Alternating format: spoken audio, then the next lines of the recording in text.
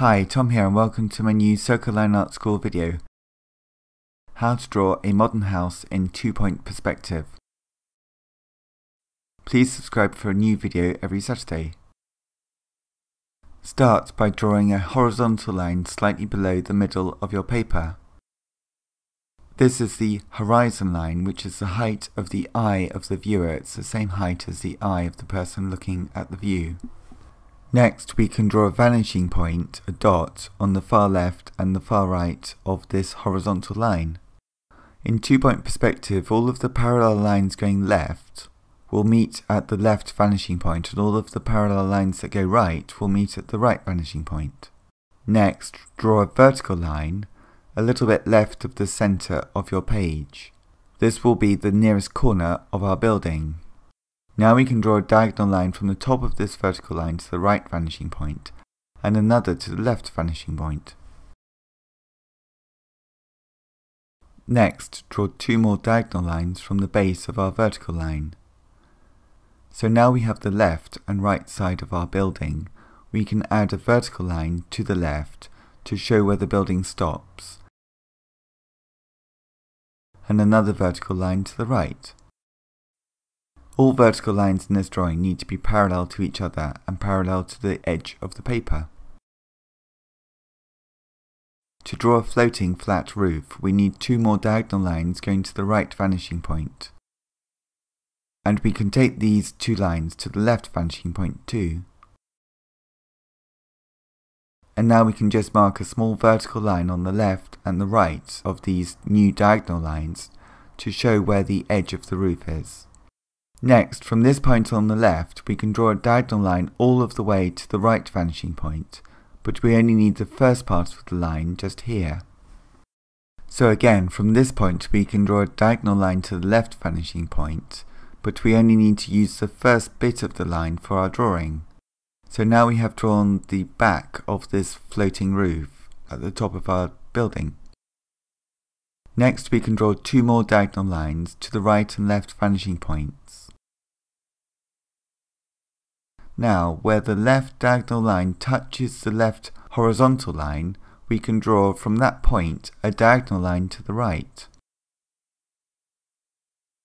On the right diagonal line, we can draw a short vertical line here. Next, from the left vanishing point, we can draw a diagonal from the top of this short vertical line, going right for a bit. And now draw another vertical line, going down below the base of the original building. Going back to our short vertical line, we can draw a diagonal from its base going to the left vanishing point, but we only need this line to this point here. I will darken these lines so that we can see what we have drawn. We now have an overhang on the left and an extension on the right. I will darken this vertical line too. Next, Draw another vertical line from the back of the house here and now we can make a new baseline by drawing a diagonal line from the left vanishing point. Again, let's darken the line so that we can see what we have.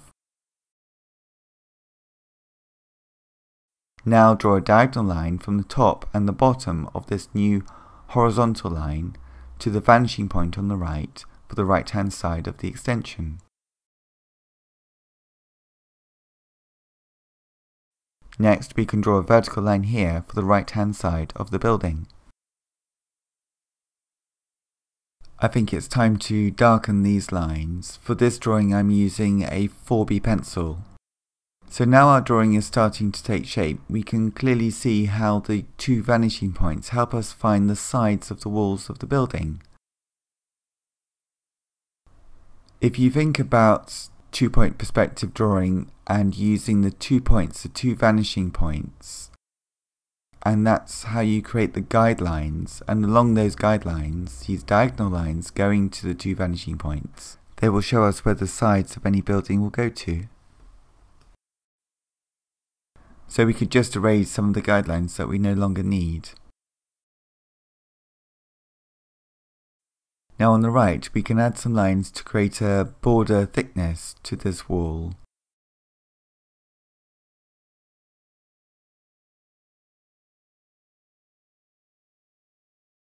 And by drawing two diagonal lines to the left vanishing point, we can find the back of the wall. I will use this vertical line to work out where the back corner of this back part of the wall is. Just draw a diagonal from the right vanishing point through the top of this vertical line and a line for the base here, again going to the right vanishing point. Time to make some of these lines darker again so that we can see what we have.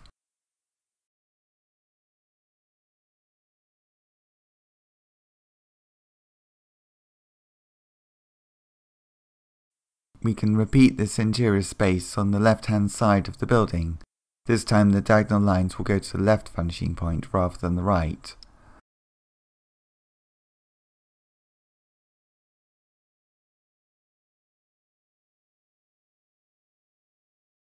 I have used the left base vertical line to find the back vertical line of this new space, just so the building looks the way I would like it to look. Again, it's a good idea to just darken the lines once we know they're in the right place.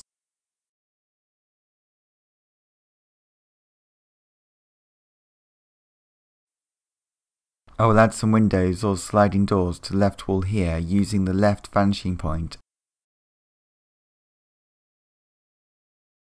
As I divide this shape, the vertical lines will get closer together as they go towards the vanishing point.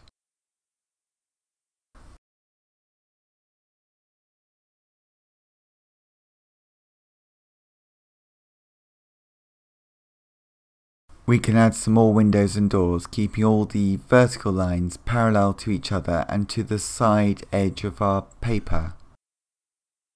And in this two-point perspective drawing, all of the diagonal lines go either to the left or right vanishing point. Next I'll add some tone to this drawing. All of the overhanging shapes will be dark. All shapes on the left of the side of the building will be a mid-tone and the shapes on the right hand side of each part of the building will be just the white of the paper. So we'll have three tones, the white of the paper, a mid-tone and a dark tone. And so the next stage of this drawing is just to add some tone, the three tones that we just outlined, the white of the paper, a mid-tone and a dark tone. I think I'll also add another building on the left hand side, using the same principles of two-point perspective. I post a new drawing every Saturday. Please subscribe to my YouTube channel Circle Line Art School to see all of my videos. There are now over 250 videos to see and a new one every Saturday.